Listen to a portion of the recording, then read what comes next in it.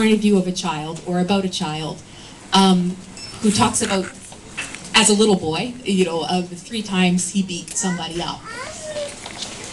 The first time he talks about, he's a, a Chinese uh, immigrant living in Canada.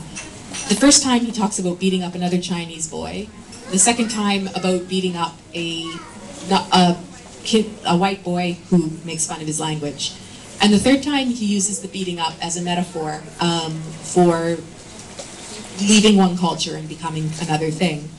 So I guess, don't worry, it's not such a violent poem um, if your stomach is very sore.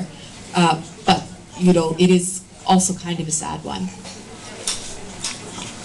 Стихотворението, което сега ще прочете, е от автор, който е първо поколение иммигрант. Е също толкова тъжно, колкото и предходното, но представя по друг ъгъл преживяването от това човек да се премести в нова страна. В него се разказва за нанасене на три побоя. Първият е как автора като малко момче се сбива с друго китайско момче и го набива. Второто е как набива местно канадско бяло момче, което се присмива на неговия език, за това, че не успява да говори достатъчно добре английски. А, и третото е свързано, третият побой е свързан с а, а, психическото пренасене от една култура в друга, с опита да се адаптира към новата среда. Okay, so the poem is called Redemption.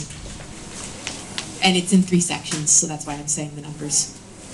One, redemption. The split wishbone of a boy's glasses rattling on the school bus floor.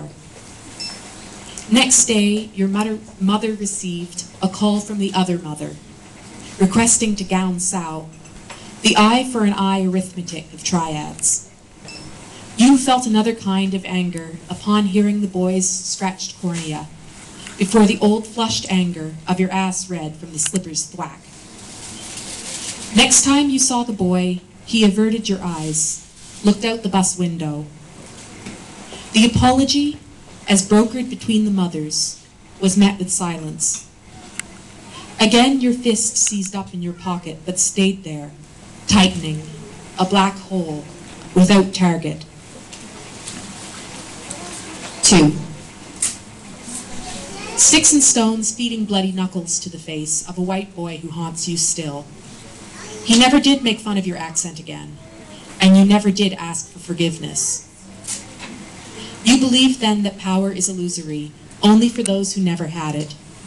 And sitting on top of his chest, his eyes dilated, panting, you completed the metamorphosis with a downward crush of your elbow. Three.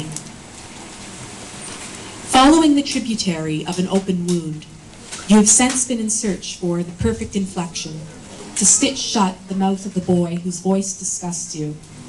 And now you have poetry. Oh, blessed, mournful providence of poetry. Why don't you now mourn for him in the victorious dialect, like a pedantic drunk? Your tongue, his fists, wrapping in your throat. Okay, that's the end of that one. Um, all right.